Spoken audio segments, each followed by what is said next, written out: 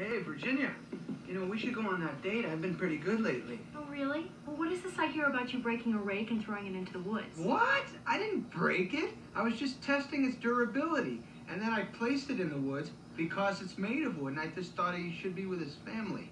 Uh-huh. At least I didn't punch anybody. All right. Okay, we'll go on a date. But just as friends, all right? Yeah, just as friends. Slow down. I don't want to be more than friends. I just met you.